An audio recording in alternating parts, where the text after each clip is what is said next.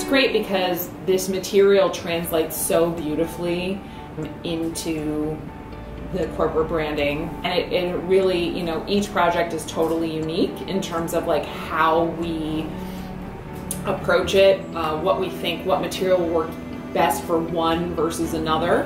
When we're getting approached by companies and restaurants and hotels and things like that to do projects with them we end up a lot of times taking a step back, really thinking about it from a consultative perspective. They'll send us plans, they'll send us pictures of the actual space, and we'll say, this is going to look the best for what you have. Or this is going to make the most sense for the budget that you have. That's why we really love working with brands because depending on what the requirement is. Some people want wild, crazy, fun, funky, and some people want super sleek, super simple, super easy, you know, applications where it's just you're getting a little pop of green, you're bringing some softness into the space, but you're not going wild and crazy with the material, uh, with hot pink moss or anything like that. Although we would be happy to send you hot pink moss.